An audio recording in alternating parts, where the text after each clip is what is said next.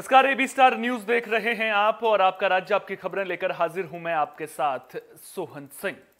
अगर पुलिस वाले ही लुटेरे बन जाएँगे तो फिर लोगों को इंसाफ कैसे मिलेगा? कानून का राज कैसे कायम होगा? यह सवाल इसलिए क्योंकि कुछ ऐसा ही मामला इंदौर से सामने आया है। जहाँ लूट की वारदात को किसी और ने नहीं, बल्कि दो पुलिस वालों ने अंजाम दिया है। मामला चंदन नगर थाना इलाके का है। आरोप है कि दोनों पुलिसकर्मियों ने 23 दिसंबर को इंदौर अहमदाबाद रोड पर बस के ड्राइवर से 14 लाख रुपए की लूट की वारदात को अंजाम दिया था।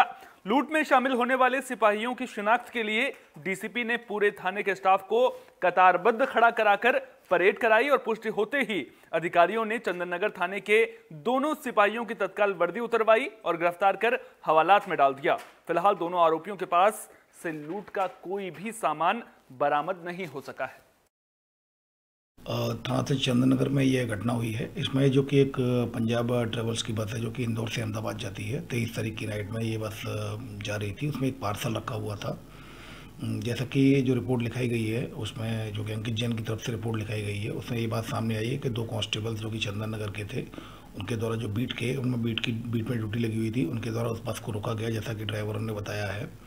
बस को रोका गया और पार्सल चेक किया गया तो उसमें चौदह लाख रुपए कैश रखे हुए थे तो उन्होंने बोला कि इसमें ये पैसा लेके जा रहे हो, कहाँ जा रहे हो, किसने दिया है, इसमें जब्ती होगी और उसको पैसे को लेकर चले गए और उन्होंने कोई जब्ती नहीं की, ऐसा ड्राइवर का कहना है। और उसके बाद फिर उनके जो फरियादी जिसका पैसा था अंकित जैन, उसने फिर रिपोर्ट की, तब जाके फिर जो कि जो टेक्निकल एविडेंसेज थे और उनके आधार पर फ़िलहाल इनको दोनों को जो कांस्टेबल्स थे योगेश और दीपक जो चंद्रनगर में पदस्थ थे उनको आरोपी बना दिया गया है। आईपीसी सेक्शन 392 के तहत केस रजिस्टर किया गया है। और अभी पूछताछ की जा रही है पैसा कोई रिकवर नहीं हुआ है उन्होंने एक्सेप्ट नहीं किया है। अभी फ़िलहाल प्रथम दृष्टिया जो टेक्निकल एविडेंसेज मिले उनके आधार पर उसको उनको आरोपी बनाया गया है और कार्रवाई की जा रही है विभागीय कार्रवाई भी की जा रही है। सस्पेंड कर हाँ जैसा कि मैंने बताया ये चूँकि उनको अरेस्ट कर लिया गया है तो सस्पेंड तो होंगे ही और इसके साथ भी अन्य विभागीय कार्रवाई भी की जा रही है। थाना से चंदनगर में यह घटना हुई है। इसमें जो कि एक बुलेटिन में बात पश्चिमी चंपारण की जहाँ नरकटियागंज अनुमंडलीय अस्पताल में एक कार चालक का हंगामा देखने को मिला है। दरअसल कार चालक ने कंट्रोल खो दिया था, जिसके बाद कार रजिस्ट्रेशन काउंटर के पास पहुँच गई थी, जहाँ खड़ा मरीज़ कार की चपेट में आने से घायल हो गया। इस घटना के बाद अस्पताल परिसर में अफरा तफरी मच गई और मरीज़ और तीमारदार इधर उधर भागने लगे। अस्पताल के सुरक्षा कर्मियों ने कार को पकड़ लिया, लेकिन तब तक चालक कार से उतरकर भाग गया था।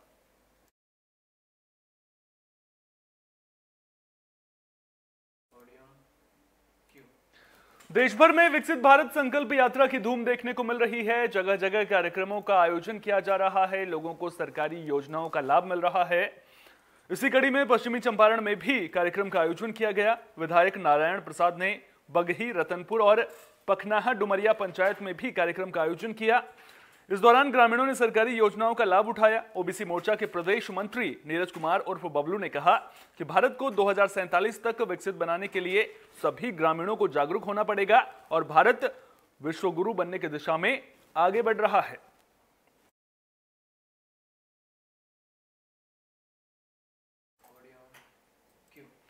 तो विकसित भारत संकल्प यात्रा की खूब धूम देखने को मिल रही है। इसी कड़ी में फरीदाबाद में भी कार्यक्रम का आयोजन किया गया था। तो तिगांव के सेक्टर 28 में यह कार्यक्रम आयोजित किया गया था, जहाँ लोगों ने सरकारी योजनाओं का लाभ उठाया। इस दौरान pension, Ayushman card, PAN card, ration card, Ujjwala योजना से वंचित लोगों को भी कैंप के ज़रिए सुविधाएँ उपलब्ध कराई गई। मोदी की गारंटी नाम से भी विशेष कैंप का आयोजन किया गया था, जहाँ पर लोगों की समस्याओं का समाधान किया गया। देखो, ये पहली बार हुआ है कि भाई सरकार आपके द्वार ये अधिकारी जो जिनके पास लोगों को जाना पड़ता था, चक्कर काटने पड़ते थे, वो आज वो सारे अधिकारी, सारे डिपार्टमेंट के अधिकारी यहाँ पर आए हुए हैं। और आप देख रहे हैं कि यहाँ पर आयुष्मान कार्ड भी बन रहे हैं। यहाँ पर पेंशन का भी काम चल रहा है। यहाँ पर आधार कार्ड का भी काम चल रहा है। परिवार पहचान पत्र का भी यहाँ पर काम चल रहा है। हेल्थ से लेके बात करें तो हेल्थ डिपार्टमेंट के हमारे आए हुए हैं यहाँ पर सारे अधिक डॉक्टर्स। उन्होंने सैंपल्स भी लिए हैं लोगों के जो आयुष्मान कार्ड के तहत आते हैं। उनका फ्री में चेकअप हो रहा है। ब्लड का, शुगर का, आपका ब्लड प्रेशर और जो सैंपल लेकर उन्होंने जो भी टेस्ट है उनके ब्लड के, उनके लिए भी आगे उसको लैब को हरियाणा में नर्सिंग ऑफिसर्स का हंगामा देखने को मिल रहा है। नर्सिंग ऑफिसर्स ने हरियाणा सरकार के खिलाफ मोर्चा खोल दिया है। हरियाणा के पीजीआई में नर्सिंग ऑफिसर्स ने मांगों को लेकर दो घंटे की सांकेतिक हड़ताल की। रोहतक पीजीआई एम्स के नर्सिंग ऑफिसर विजय पार्क में इकट्ठा हुए और सुबह 10 बजे से लेकर 12 बजे तक हड़ताल की। इस दौरान उन्होंने सरकार के खिलाफ जमकर नारेबाजी की।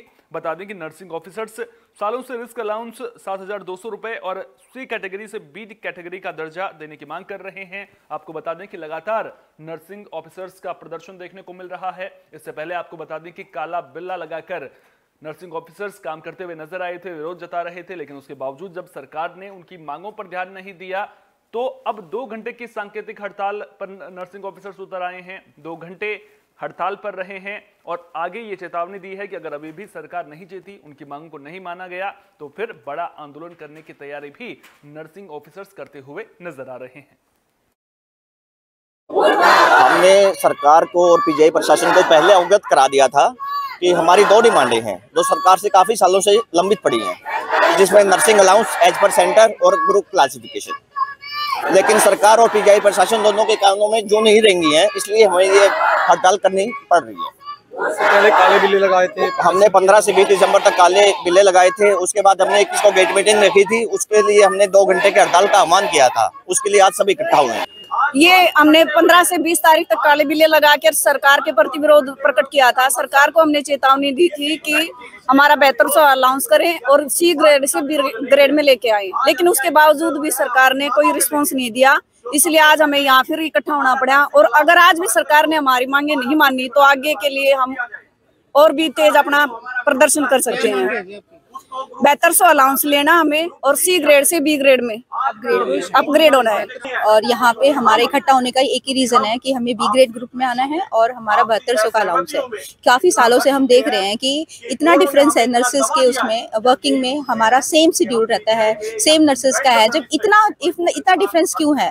सेंट्रल में कुछ और मिलता है स्टेट में कुछ और मिलता है तो हमें फरीदाबाद के प्रतापगढ़ में लोग सालों से कूड़ा घर बनाने का विरोध कर रहे हैं। आपको बता दें कि पिछले पाँच महीने से इलाके के लोग इस बात को लेकर के संघर्ष कर रहे हैं। मामले को लेकर नगर निगम और प्रतापगढ़ के स्थानीय लोगों के बीच जमकर बहसबाजी भी हुई। इतना ही नहीं, स्थानीय लोग और पुलिस भी आमने सामने नज़र आई। जानकारी के बाद मौके पर पहुँचे मुजेश्वर एसीपी सुधीर तनीजा। लोगों को समझाते हुए नज़र आए। लोगों ने फैसला किया कि वे नगर निगम कमिश्नर और फरीदाबाद डीसी से मुलाकात करेंगे, जिसके बाद कोई फैसला लिया जाएगा। इधर नगर निगम के लोग खड़े हुए हैं और हमारी पुलिस भी खड़ी हुई इधर पब्लिक वाले भी खड़े हुए हैं। इनकी आपस में ये था कि वो कह रहे थे हम काम नहीं होने देंगे। और नगर निगम वाले और सरकार के जो आदेश होते हैं हमने तो सरदार सरकार के साथ ही होते हैं। तो अभी इनका आपस में फैसला ये हुआ है कि ये लोग जो पब्लिक वाले हैं ये डीसी साहब और कमिश्नर मैडम से कल को मिलेंगे। और उसके बाद फिर ये डिस्कस करेंगे हमारे साथ करेंगे इनके साथ करेंगे। आगे जो भी निर्णय होगा उस प्रकार से जो आदेश मिलेंगे हम आगे आएँगे। सुधीर जी देखा गया कि आज पुलिस के द्वारा बहुत ही अच्छा कार्य किया गया मौके पर कार्य रुकवा दिया गया और लोग पीछे आपकी काफ़ी सराहनीय तारीफ़ कर रहे हैं। देखो हमारा काम है दोनों तरफ़ से शांति बनाए रखना। उनको भी साथ लेके चलते हैं इनको भी पब्लिक को भी साथ लेके चलते हैं। इनके आज भी हम साथ लेके चले हैं। दोनों जो शांतिपूर्वक कार्य हमने करवाया काम रुकवाया भी है और इनकी रजामंदी से अफसरों से कल बातचीत हो जाएगी। एसपी साहब लेकिन जनता आप पे बहुत भरोसा जता रही है। लगातार जनता से बातचीत हमने किया तो कह रही है पुलिस प्रशासन बिल्कुल उन पर भरोसा है वो कहीं ना कहीं रास्ता निकलवाएँगे इस चीज़ का। नहीं रास्ता ऐसे है सरकार की तरफ़ से सरकारी अफसर भी है हम भी है आप लोग भी है सारे ये लोग हैं कोई पानीपत से हैरान करने वाली खबर है, एक पिता ने अपनी बेटी को एक के बाद एक पाँच गोलियाँ मारी, जिससे लड़की की मौत हो गई है। तो पानीपत के समालखा खंड के गाँव पट्टी कल्याण से यह मामला सामने आया है। बता दें कि आरोपी पिता ने बेटी पर एक के बाद एक पाँच गोलियाँ बरसाई थी। इस घटना के बाद इलाके में हड़कंप मच गया। जानकारी के मुताबिक पिता अपनी बेटी के पढ़ाई और घरेलू काम न करने की वजह से नाराज़ था। दोपहर को पिता शराब के नशे में घर पहुँचा और बेटी पर गोलियाँ बरसा दी। मामले की जानकारी मिलने पर पहुँची पुलिस ने मृतक लड़की के शव और सबको कब्जे में लेकर पोस्टमार्टम के लिए भेज दिया है और कानूनी कार्रवाई में जुट गई है। इस वजह से चलिए इसका वजह कोई वो नहीं था। खुद की इसकी पिस्टल अपनी और वो मौके पे दारू के नशे में ही रोमांटिक तौर पर डिस्टर्ब था। इसको रखते हुए वो थाने में अब खुद जाकर पेश हो गया। अपनी पिस्टल लेकर थाने में से थाने में बैठ गया। बता रहे कोई पढ़ाई के लिए मामला था? नहीं नहीं वो कोई अपनी बेटी को इतना प्यार करता था, शायद हम भी ने अपने बच्चों को प्यार नहीं करते। कोई पढ़ाई का वो नहीं था, वो लड़की ने जो पढ़ाई है ना, अपने बलबुते में छोड़ी थी मैट्रिक के बाद। अगर कोचिंग काचिंग वो पढ़ रही थी थोड़ी बहुत, जो भी ले रही थी, ऐसा कोई विवाद नहीं था। आज हमें 12 बजे के आसपास सूचना मिली थी कि एक लड़की को उसके पिताजी ने गोली मारती है, और पारक अस्पताल से हमने सूचना मिली थी कि भाई गोली लगने से एक लड़की यहाँ पर मृत अवस्था में आई है। इस सूचना पर जाकर मैंने उसके चाचा के बयान लिए उन्होंने अपने दरखास्त पेश करी जो उसमें कहा कि इनके बाप बेटी का दोनों का झगड़ा हो गया था जिसकी वजह से कई गोलियाँ उसके बाप ने अपनी बेटी को मार दी हैं। क्या कारण था? फरीदाबाद में पुलिस को बड़ी कामयाबी मिली है। पुलिस ने टी स्टॉल संचालक की हत्या का खुलासा कर दिया है। आरोपी को गिरफ़्तार कर लिया गया है। बता दें कि आरोपी ने आठ सौ रुपए के लिए टी स्टॉल संचालक की हत्या की थी। जानकारी के मुताबिक आरोपी रोहित चाय वाले के स्टॉल पर आता रहता था और उसके बारे में सारी जानकारी रोहित के पास थी। आरोपी को लगता था कि चाय वाले के पास बहुत पैसे होंगे, लिहाजा उसने हत्या की साजिश रची और चाय वाले के साथ चाय के खोखे पर ही सो गया था और रात में गुलाड़ी से चाय वाले की हत्या कर दी और गले में रखे आठ सौ रुपए और स्कूटी लेकर मौके से फरार हो गया। पुलिस ने आरोपी को गिरफ़्तार करने के बाद कानूनी कार्रवाई शुरू कर दी है। अल्लाह थाना के एरिया के अंदर, तिलपत गाँव के अंदर एक चाय के खोखे के अंदर एक रमन नाम के व्यक्ति की हत्या कर दी गई थी। अज्ञात हमलावरों द्वारा धारदार हथियार से हमला करके। उसी संबंध में एफआईआर नंबर 905 थाना बल्ला के अंदर दर्ज की गई थी जो जाँच थी उसकी कमिश्नर साहब के द्वारा, श्री राकेश आर्य साहब के द्वारा क्राइम ब्रांच डीएलएफ को सौंपी गई थी और डीएलएफ टीम लगातार इस मैटर पर काम कर रही थी और आज बारह दिन के बाद, कड़ी मेहनत के बाद उन्होंने इस हत्या की जो गुत्थी थी उसे सुलझा दिया है और रोहित नाम के युवक को जो नूरपुर, बिजनौर का रहने वाला है, पीछे सर फ़िलहाल पल्ला के अंदर, चेतन कॉलोनी के अंदर रह रहा था, उसे गिरफ़्तार किया गया है। आरोपी जो है, वो मृतक को पहले से जानता था और उस रात को भी उसके पास जो जो रूटीन की तरह ही आया था और देर हो जाने के कारण वो रात को उसके पास ही वहीं पर रुका। रात को सोते वक्त उसकी नीयत खराब होने के कारण उसका जो गला था मृतक की दुकान का, उससे उसने पैसे चुराने चाहे और जब वो इस चोरी को कर रहा था तो मृतक की आँख खुल जाने के कारण उसने उसका जब विरोध किया तो पास ही में पड़ी एक कुल्हाड़ी उठा करके बुलेटिन में बात पश्चिमी चंपारण की भी कर लेते हैं, जहाँ पहलवान अपने दांव पेंच दिखाते हुए नज़र आ रहे हैं।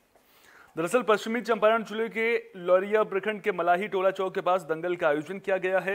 कार्यक्रम का शुभारंभ लौरिया प्रखंड प्रमुख शंभु तिवारी और भोला सिंह ने किया।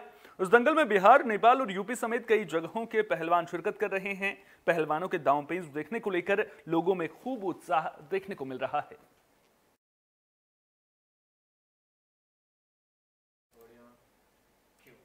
बुलेटिन के आखिर में बात यमुनानगर की, जहाँ फ्री हेल्थ चेकअप कैंप का आयोजन किया गया था। आपको बता दें कि ये health checkup camp Mother Mary charity home संस्था ने आयोजित किया था। कार्यक्रम का आयोजन संस्था की संस्थापक खुशी और डायरेक्टर विक्रम चौहान की अध्यक्षता में किया गया। कैंप में आए मरीजों के स्वास्थ्य की जाँच डॉक्टर जेके गुलाटी ने की। वहीं महिला मरीजों का चेकअप महिला रोग विशेषज्ञ डॉक्टर सरिता गुलाटी ने किया। कैंप में जरूरतमंद मरीजों में मुफ़्त दवाइयाँ भी बांटी गई। करीब 150 मरीजों का चेकअप इस मेडिकल कैंप में किया गया है। अस्पताल में आज जो यहाँ पर पेशेंट्स आए हुए हैं। इनका जो है इलाज किया जाएगा और यहाँ पर जो है इन पेशेंट्स को जो है जो है वो दवाइयाँ दी जाएँगी। और ये जो संस्था है, इनका मेन उद्देश्य है एक हज़ार कैंप जो है वो यहाँ पर यमुनानगर डिस्ट्रिक्ट में लगाने का है। और मैं उम्मीद करता हूँ और परमात्मा से प्रार्थना करता हूँ कि ये जो अपना उद्देश्य है इनका, इस उद्देश्य में ये संस्था जो है वो कामयाब हो। आपका राज्य, आपकी खबरों में फ़िलहाल के लिए इतना ही। अपना बहुत बहुत ख्याल रखिए। देश और दुनिया की तमाम अहम खबरों के लिए देखते रहिए एबी स्टार न्यूज़